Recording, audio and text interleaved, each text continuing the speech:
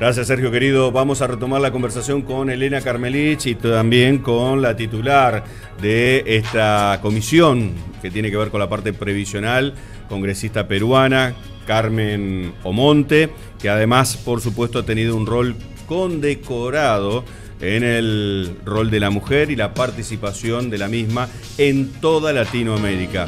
Muy rica esta charla, segunda parte, y así va.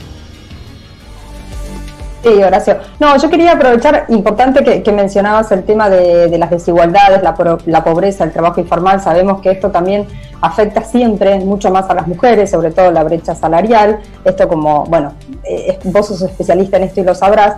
Pero antes de, ir a ese tema, preguntarte, eh, los casos de violencia de género o desigualdades eh, hacia las mujeres, intuyo que, en, este, en este periodo de aislamiento han aumentado. ¿Cómo fue el caso de Perú y qué medidas se han podido tomar?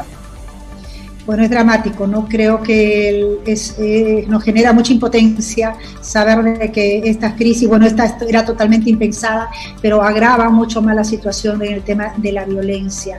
Eh, las cifras han aumentado, sobre todo eh, el caso de mujeres desaparecidas, niñas, adolescentes, el tema de la violación, el tema de la, ya de la violencia doméstica contra mujeres, contra niñas, contra adolescentes, eh, ha aumentado muchísimo.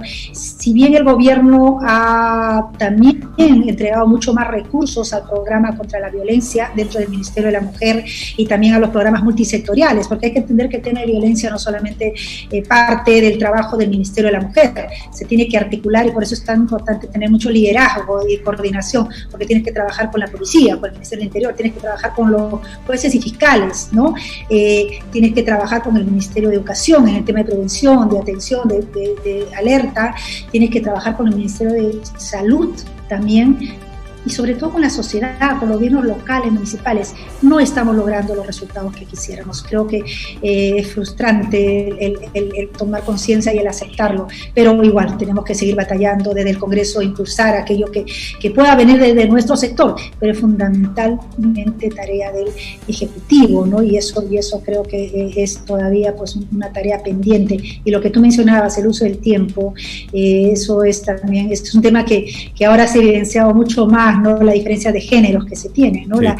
El, claro, el, uso del tiempo doméstico en cuidado de los hijos, en ayudarlos con las tareas, el de los adultos mayores, el de los enfermos, hasta ahora todavía sigue recayendo en gran medida sobre las mujeres, aparte del tema del teletrabajo o la función que tengas que ejercer ya también remunerativa, ¿no? Eh, eso siempre todavía es, es, complicado para la mujer, tenemos ahí un tema pendiente en todo nuestro país. Carmen y Elena, les pido que se queden en línea, por favor, y quiero agradecerles esta participación en el Explorador. Seguramente vamos a tener mucho más para charlar porque vienen las cuestiones de fondo. Carmen Omonte, muchísimas gracias. Elena Carmelich, muchísimas gracias. Interesantísima esta charla y seguramente en las próximas ediciones vamos a tener mucho más para seguir charlando. Ahora hablando de más, más noticias.